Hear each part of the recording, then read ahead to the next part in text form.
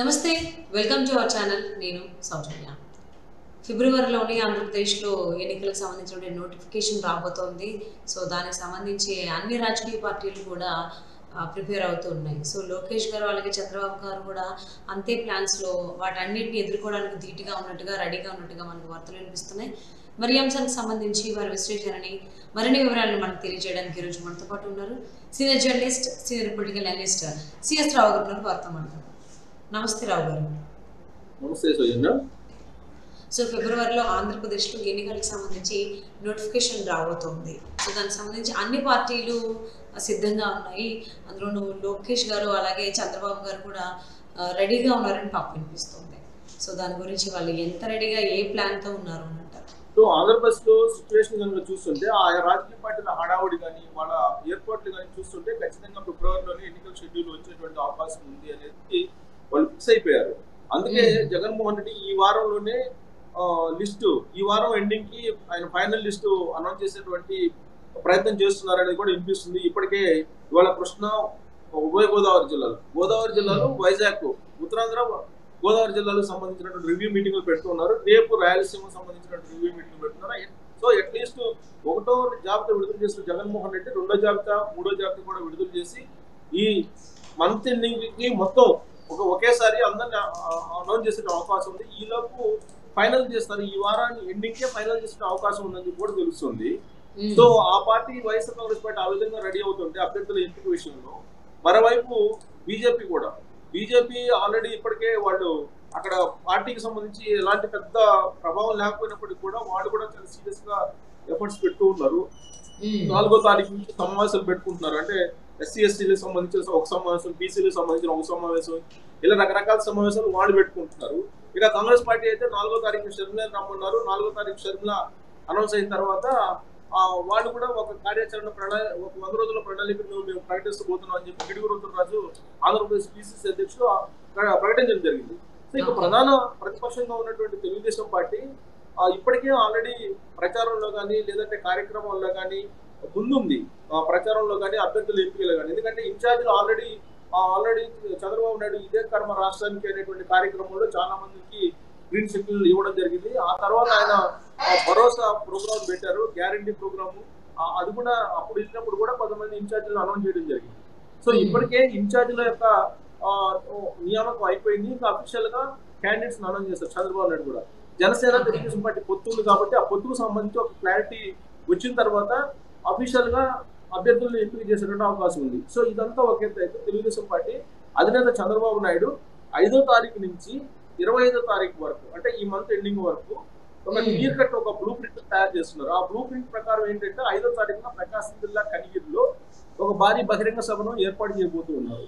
అంటే మొత్తం ఇరవై ఐదు లోక్సభ స్థానాలు ఉన్నాయి ఆంధ్రప్రదేశ్లో ఈ ఇరవై ఐదు లోక్సభ స్థానాలకు సంబంధించి ఆ లోక్సభ స్థానాల పరిధిలో ఎక్కడో ఒక దగ్గర ఒక బహి- ఒక బహిరంగ సభ పెట్టాలి అనేటువంటి ఒక బ్లూ ప్రింట్ తయారు చేస్తున్నారు. సో మొట్టమొదటి సమావేశానికి పవన్ కళ్యాణ్ కూడా హాజరవుతారు. కనిగిరిలో జరిగేటువంటి ఐదో తారీఖు జరిగేటువంటి బహిరంగ సభకి. ఆ తర్వాత చివరి సమావేశం అనంతపురంలో జరుగుతుంది. ఇరవై ఐదో తారీఖున అనంతపురంలో పెట్టేలాగా ప్లాన్ చేశారు టెంటేటివ్గా. సో ఆ రోజు కూడా ఇరవై ఐదో తారీఖు ఆ రోజు కూడా పవన్ కళ్యాణ్ హాజరయ్యేటువంటి అవకాశం ఉంది. మిగిలినటువంటి రోజుల్లో ఎవరికి వాళ్ళే ప్రచారం చేసేటువంటి అవకాశం ఉంది.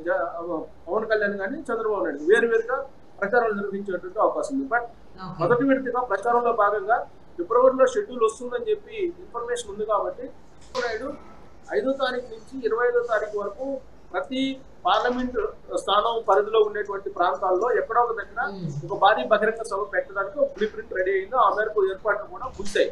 ఇప్పటికే ప్రతి కాన్స్టి ప్రతి లోక్సభ స్థానం పరిధిలో రెండు ప్రచార వాహనాలను పంపించింది. సూపర్ సిక్స్ ఏవైతే ప్రకటించారో సూపర్ సిక్స్ ప్రకటించడం జరిగింది చంద్రబాబు నాయుడు. ఆరు గ్యారెంటీలు ఏవైతే ఉన్నాయో వాటి మీద ప్రచారాన్ని ఉధృతంగా తీసుకెళ్ళేదానికి ఆ ప్రచారం ప్రజల్లోకి వెళ్ళేదానికి ఆల్రెడీ రెండు వాహనాలని ప్రతి లోక్సభ స్థానాలకు రెండు వాహన గ్లోసైన్ బోర్డ్స్తో కూడినటువంటి రెండు వాహనాలని పంపించడం జరిగింది. ఈ ఆరు సూపర్ సిక్స్లో ఒకటేంటంటే మహిళలకు బస్ ప్రయాణం ఉచితము. అలాగే ప్రతి యువతికి పదిహేను వందల రూపాయల నెలకి అలాగే అమ్మ దీవెన దీవెన కింద అమ్మ దీవెన కింద పదిహేను వేల రూపాయలు ఏడాదికి అంటే స్కూల్ పంపించేటువంటి ప్రతి ఆ, తల్లికి ఆ పదిహేను వేల రూపాయలు అనేది ఒకటి అనౌన్స్ చేస్తారు మహిళల కోసం. మహాశక్తి. అనేటువంటి ఒక ప్రోగ్రామ్ని క్రియేట్ చేసి. సో దీంతో పాటు రైతులకి ఏడాదికి ఇరవై వేల రూపాయల ఆర్థిక సహాయం ఇస్తారని చెప్పి అనౌన్స్ చేయడం జరిగింది. బీసీలకు సంబంధించి ఒక ప్రత్యేకమైనటువంటి చట్టాన్ని తీసుకొచ్చి వాళ్ళకే కేటాయించినటువంటి నిధుల్ని వాళ్ళకే ఖర్చు పెట్టాలి అనేది ఒకటి తీసుకురావడం జరిగింది. యువతకి యువత ఎవరైతే ఉన్నారో వాళ్ళకి ఉపాధి అవకాశాలు కల్పించడానికి దాదాపుగా ఇరవై లక్షల ఉద్యోగాలు ఇవ్వడానికి ఒక ప్రణాళికను కూడా తయారు చేశారు. దీంతో. పాటు ఆ పేదలని పేదలని కోటేశ్వరం చేసి దానికి పీ ఫోర్ ఫార్ములా ఒకటి తయారు చేశారు. ఇలా ఆరు గ్యారెంటీల్ని మొత్తం ప్రజలు ప్రతి ఇంటికి తీసుకెళ్ళేదానికి ఆరు గ్యారెంటీల గురించి తెలియజేయడానికి ప్రతి లోక్సభ స్థానం పరిధిలో రెండు గ్లోసరీ కోర్సుతో కూడినటువంటి వాహనాలని ఆల్రెడీ విడుదల చేయడం జరిగింది. మూడో తారీఖున విడుదల చేస్తారు. మూడో తారీఖున ఆ, మొత్తం అవి చేరుకునేటువంటి అవకాశం లోక్సభ పరిధిలో ఉన్నటువంటి ప్రాంతాలకి చేరుకొని అవి ఆ లోక్సభ మొత్తం కూడా తిరుగుతూ ప్రచారం నిర్వహిస్తూ ఉంటాయి. ఐదో తారీఖున ఆయన కనిగిరిలో ఒక భారీ బహిరంగ సభను పెడుతున్నారు. అక్కడి నుంచి ప్రతి లోక్సభ స్థానం పరిధిలో ఆయన బహిరంగ సభలను పెడుతూ ప్రజల మధ్య ఉండేటువంటి పరిస్థితులు ఉన్నాయి. ఆ మేరకు బ్లూ ప్రింట్ రచించారు. ఇక లోకేష్ ఇప్పటికే యువగలం సక్సెస్ అయింది. యువగలం చేసినటువంటి ఆయన నాలుగు వందల రోజులు నాలుగు వేల కిలోమీటర్ల లక్షల తోటి బయలుదేరినటువంటి ఆయన. జ వాళ్ళ గత ఏడాది జనవరిలో ఇటీవలనే ఆయన ఆ యువగలం కూడా ముగించారు. రకరకాల హడ్డిల్స్ తోటి రకరకాల కారణాల వల్ల ఆయన మూడు వేల కిలోమీటర్ల పైగా నాలుగు ముగించారు ఆయన. సో ఇప్పుడు నెక్స్ట్ విడత ఏం చేయాలి? లోకేష్ అనే దాని మీద. సో లోకేష్ యువకుల కారణంగా యువత అట్రాక్ట్ అయ్యారు. ప్రత్యేకించి ప్రస్తుతం స్టూడెంట్స్గా ఉన్నటువంటి వాళ్ళు కానీ నిరుద్యోగులు కానీ లోకేష్ యువకులానికి అట్రాక్ట్ అయ్యారు అనేది తెలుగుదేశం పార్టీ అంచనా వేస్తుంది. వాళ్ళ సర్వేల్లో కూడా అదే చెప్తుంది. అందుకే ఈసారి లోకేష్ రాబోయేటువంటి రోజుల్లో ఈ నెలాఖరు వరకు కూడా చంద్రబాబు నాయుడు బహిరంగ సభల్లో పార్టిసిపేట్ చేస్తుంటే కార్యకర్తలకు సంబంధించి ప్రతి నియోజకవర్గంలో ఉండేటువంటి కార్యకర్తలతో సమన్వయ సమావేశాలు పెట్టి కార్యకర్తలకు సంబంధించిన సమస్యలన్నింటినీ పరిష్కరించడానికి ఆయన సిద్ధపడుతూ ఉన్నారు ఆ క్రమంలో లోక్సభ పరిధిలో ఉండేటువంటి ఐదో ఆరో లోక్సభ స్థానాలు ఉంటాయి ఆ లోక్సభ స్థానాల పరిధిలో ఇన్నుంటే అన్ని లోక్సభ. స్థానాల పరిధిలో ఆయన క్యాడర్ తోటి సమావేశం కాబోతున్నారు క్యాడర్ తోటి ముఖాముఖి సమావేశం అయ్యి ఆయనకి క్యాడర్కి ఎలాంటి సమస్యలు ఎదురవుతున్నాయి? ఎలాంటి సహాయం కావాలి? సో రాబోయేటువంటి ఎన్నికల్లో ఫేస్ చేయడానికి వాళ్ళకి ఎలాంటి సహాయ సహకారాలు అందించాలి? వీటన్నిటి మీద ఒక కూలంకుషంగా ఆయన చర్చించేటువంటి అవకాశం ఉంది. కాన్స్టిట్యూన్సీ వైపు ఆయన ఈ మొత్తం సమావేశాలు నిర్వహిస్తారు. బూత్ స్థాయిలో ఉండేటువంటి వాళ్ళు. బూత్ స్థాయిలో ఏ విధంగా కార్యకర్తలు ఇబ్బంది పడుతున్నారు వాళ్ళకి రాబోయేటువంటి రోజుల్లో వైఎస్ఆర్ కాంగ్రెస్ పార్టీ తరఫు నుంచి వచ్చేటువంటి బెదిరింపులు ఏ విధంగా ఉన్నాయి వీటన్నిటి మీద కూడా కూలంకోషంగా చర్చించే అవకాశం ఉంది. యువకుల సందర్భంగా ఆయన ప్రతి కాన్స్టిట్యున్సీలో కూడా కార్యకర్తలు పడుతున్నటువంటి ఇబ్బందులకు సంబంధించి ఆయన ఆల్రెడీ ఇప్పటికే ఒక ఒపీనియన్ తోటి ఉన్నారు ఒక అవును. ఉన్నారు. దానికి యువగలం పాదయాత్ర జరగకముందు జరిగిన తర్వాత చాలా చేంజ్ ఓవర్ చూసాము. ప్రజల్లో కావచ్చు లోకేష్ గారిలో కావచ్చు. సో మరి దాని ఇంపాక్ట్ ఇంకా అలానే ఉంది కాబట్టి దాని ఇంకా దాన్ని ఇంకా అంటే ప్రజలందరినీ కూడా ఆంధ్రప్రదేశ్ ముఖ్యంగా ఆంధ్రప్రదేశ్ ప్రజలందరినీ కూడా తర్వాత తిప్పుకోవడానికి లోకేష్ గారు ఇంకేమన్నా వేరే ఏంటి సరికొత్త సభలు కానీ లేకపోతే మీటింగ్స్ మీరు అరేంజ్ చేసేటువంటి అవకాశాలు ఏమన్నా ఉన్నాయని ఆలోచనలు ఏమన్నా ఉన్నారనుకోవచ్చు అంటారు? బహుశా చంద్రబాబు నాయుడుది బహిరంగ సభల షెడ్యూల్ అనౌన్స్ అయింది.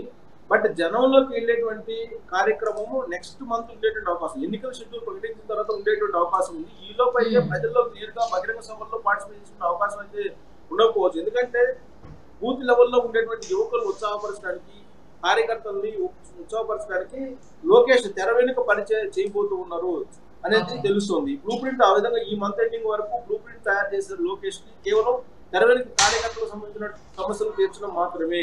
సో ఎందుకంటే ఆయన ఆ బాధ్యత ఎందుకు అప్పచెప్పారంటే రెండు వేల తొమ్మిది నుంచి ఆయన పరోక్షంగా కార్యకర్తలకు సంబంధించిన సమస్యలను తెలుసుకుంటూ ఉన్నారు. ఫస్ట్ ఆయన రాజకీయ ప్రత్యక్ష ఆ, ప్రవేశమే అక్కడ తెలుగుదేశం పార్టీ కార్యకర్తలకు సంబంధించి కన్వీనర్గా ఉన్నారు. ఆ కన్వీనర్గా ఉన్నప్పుడే కార్యకర్తలకు సంబంధించినటువంటి అన్ని అంశాలను కూడా పరిశీలిస్తూ వస్తున్నారు. ఆ క్రమంలో ఆయన అనేక సంస్కరణలు కూడా తీసుకొచ్చారు. కార్యకర్తలు మెంబర్షిప్ ఎవరైతే తీసుకుంటారో మెంబర్షిప్ తీసుకొచ్చి తీసుకున్నటువంటి వాళ్ళకి ఆరోగ్య బీమా కల్పించడం కానీ లేదా ఆ రాజకీయంగా నష్టపోతే కనుక ఒకవేళ దాడుల్లో కానీ లేదంటే ప్రాణాపాయం కలిగితే ఆ కుటుంబీకులు ఏ విధంగా ఆదుకోవాలి? వీటన్నిటి మీద కూడా ఆయన పనిచేస్తూ వచ్చారు రెండు వేల తొమ్మిది నుంచి. సో రెండు వేల పద్నాలుగులో అధికారంలోకి వచ్చింది. అధికారంలోకి వచ్చిన తర్వాత ఆయన తెలుగుదేశం పార్టీ జాతీయ ప్రధాన కార్యదర్శి కావడం ఆ తర్వాత ఆయన మంత్రి కావడం ఇవన్నీ కూడా జరిగిపోయాయి. సో రెండు వేల పంతొమ్మిదిలో ఆయన పార్టీ ఓడిపోయింది. ఓడిపోయిన తర్వాత నుంచి ఆయన ప్రతిపక్షంలో తెలుగుదేశం పార్టీ వచ్చినప్పటి నుంచి చంద్రబాబు నాయుడు ఒకవైపు పోరాటం చేస్తుంటే మరోవైపు లోకేష్ కూడా పోరాటం చేస్తూ వచ్చారు. యువకులంతో ఆయనకంటూ ఒక ప్రత్యేకమైనటువంటి స్థానాన్ని తెలుగుదేశం పార్టీలో సంపాదించుకోగలిగారు. అప్పటి వరకు కూడా తెలుగుదేశం పార్టీలో ఉండేటువంటి సీనియర్లకు కానీ లోకేష్ కానీ మధ్య తెలియనటువంటి అంతరం ఉంది అని ఒక టాక్ నడిచేది. ఇప్పుడు యువకులం తర్వాత సీనియర్లకి అలాగే లోకేష్ మధ్య అంతరం తగ్గిపోయింది. అంతరం పెద్దగా లేదు. అందరినీ కలుపుకుపోయేటువంటి పరిస్థితి కనిపిస్తూ ఉంది. సీనియర్లు కూడా ఆయన నాయకత్వాన్ని అంగీకరిస్తున్నారు అనేటువంటి అభిప్రాయం తెలుగుదేశం పార్టీలో వినిపిస్తుంది. అందుకని రాబోయేటువంటి ఎన్నికలు అనేవి ఆంధ్రప్రదేశ్లో ఎంత కీలకమో అనేది అందరికీ తెలిసిందే. సో అందరి కూడా ఆంధ్రప్రదేశ్ పైనే ఉంది. సో దానికి తగ్గట్టుగానే తెలుగుదేశం నాయకులు కావచ్చు కార్యకర్తలు అలాగే చంద్రబాబు నాయుడు గారు అండ్ లోకేష్ గారు ఎంత ప్లాన్గా ఉన్నారో మనం అందరం చూస్తున్నాము మల్టిపుల్ ప్లాన్స్ ఉన్నాయని కూడా చెప్తున్నారు చాలా మంది మీరు కూడా చాలా సార్లు చెప్పారు.